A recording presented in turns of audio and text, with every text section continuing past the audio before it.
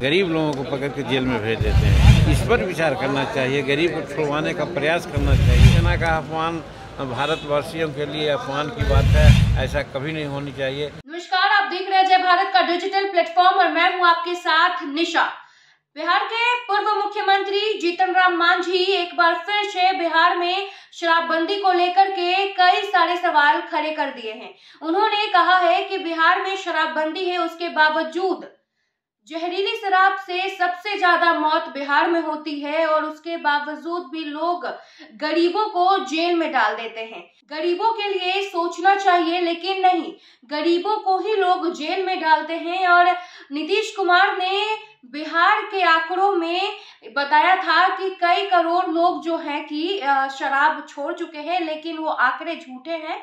और आपको बता दें कि उन्होंने ये भी कहा कि कोई भी पार्टी फ़ंक्शन में उनको इनवाइट नहीं किया जाता है क्योंकि वो शराबबंदी के खिलाफ है। साथ ही साथ उन्होंने वैशाली में हुई घटना। आपको बता दें कि शहीद के पिता के अपमान को लेकर के भी उन्होंने कहा है कि सेना का अपमान नहीं करना चाहिए, ये सरासर गलत है।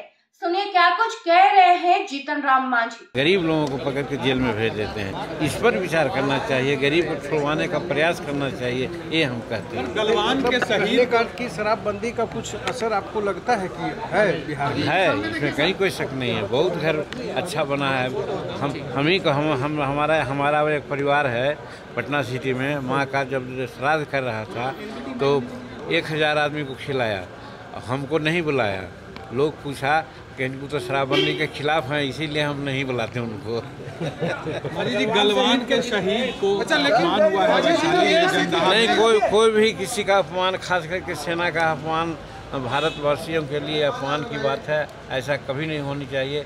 अगर ऐसा कोई कहें तो उनको खेत करना चाहिए और अपने वक्तव्य को वापस लेना नहीं चाहिए। पुलिस ने उनके पिता को जिस तरह से गिरफ़्तार करके पुलिस ले गई है S C S T act लगाकर गिरफ्तारी हुई है इसको किस तरह से देख रहे हैं? जो वैशाली के जनदहा का मामला। उस उस मैटर को हमने नहीं देखा है और नहीं जानते हैं। उसमें क्या इंक्वायरी होनी चाहिए अगर गलत की हो तो कार्रवाई होनी चाहिए।